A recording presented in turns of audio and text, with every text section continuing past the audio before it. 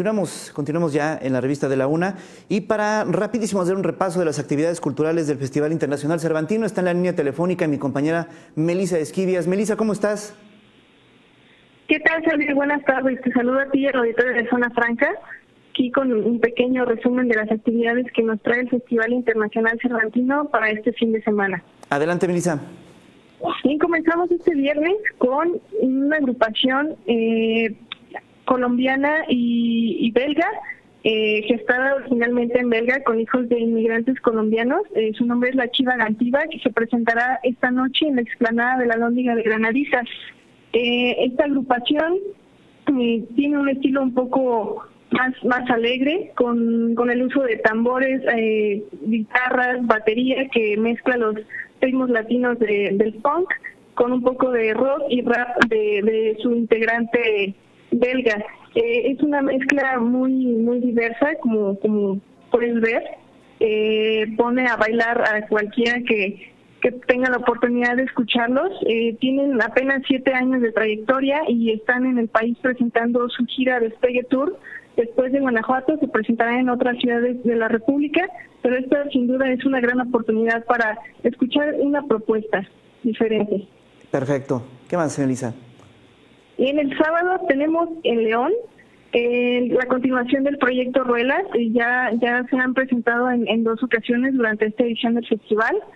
Eh, el día de mañana se presentarán la apuesta Cómo llegar a la fuente ovejuna, que más allá de llevar el, el, nombre de una obra eh, conocida de Jorge Ibargüengoitia, eh, esta, esta, esta apuesta mm, retrata toma a sus, a sus habitantes como actores y retrata la vida de la comunidad de San Juan de Abajo, en León, Guanajuato. Eh, está dirigida por Sara Pinedo, una ya reconocida directora independiente de aquí en León, Guanajuato, que ha trabajado durante varias ediciones con el proyecto Ruelas.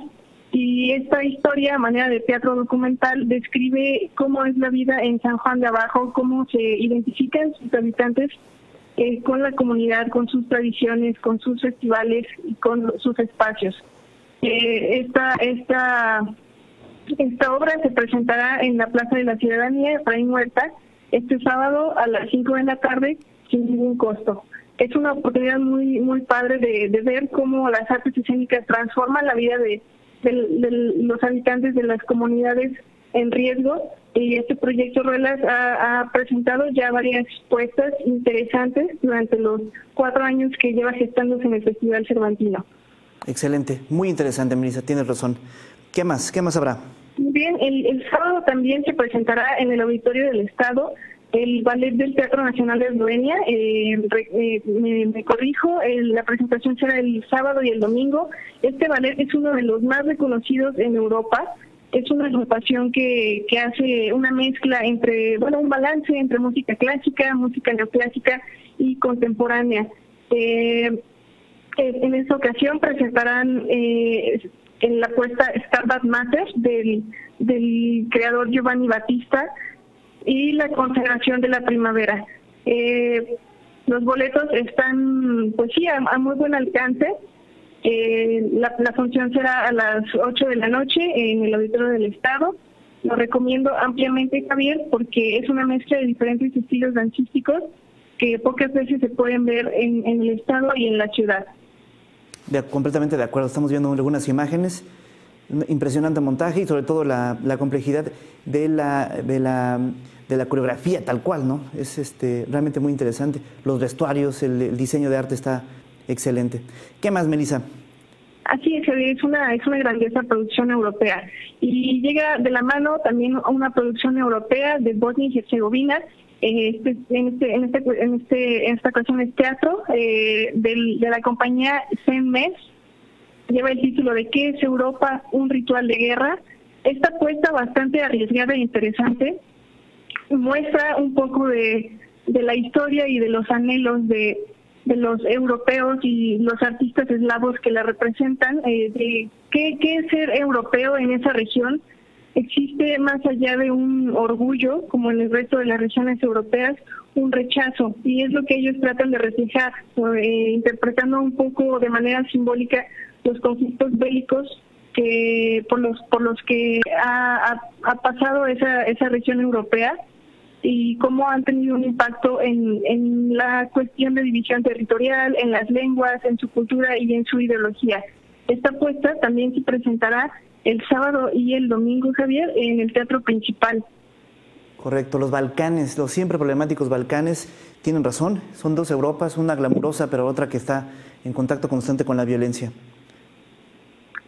Así es, Javier, y es, muy interesante la propuesta de, esta de esta compañía al presentarlo de, una manera un poco, sí, utilizando mucho el simbolismo bélico en el escenario. Eh, yo, yo sugeriría que, o lo recomiendo principalmente para adultos, por el contenido pues violento y un poco filosófico de, la apuesta. Y concluimos este, este resumen con la segunda presentación de la Orquesta Sinfónica de la Universidad de Guanajuato en esta edición del Festival Internacional Cervantino. Se presentarán el domingo en el Teatro Juárez, un, recinto de los más importantes que albergan las actividades de este festival. La función será a las nueve de la noche y presentarán una, una, un programa bastante interesante eh, la Sinfonía de Leningrado de Shostakovich, este compositor ruso, y esta sinfonía del, de mitad del siglo XX es, es una de las sinfonías más potentes del compositor y de la historia de la música clásica rusa y es, es, una, es un programa que presenta por primera vez la Orquesta Sinfónica de la Universidad de Guanajuato y lo hace precisamente para esta edición del Festival Internacional Cervantino. Perfecto, Melissa. Pues vamos a estar siguiéndonos. Si te parece, el día lunes nos volvemos a conectar para que nos des un resumen de actividades del fin de semana y nos platiques un poco más de lo que ocurre en el Festival Internacional Cervantino. Perfecto, Javier. Nos, comunicamos el lunes con otro resumen y recomendaciones para la audiencia de Zona Franca. Excelente, Melissa. Muy buenas tardes. Hasta luego, Javier. Buena tarde. Hasta luego. Melissa Esquivias con el seguimiento de las actividades del Festival Internacional Cervantino. Vamos a un corte. Ya están aquí Carlos Arce y Ramón Izaguirre para integrarse a nuestro interlínea semanal. Mucho que platicar. Continuamos.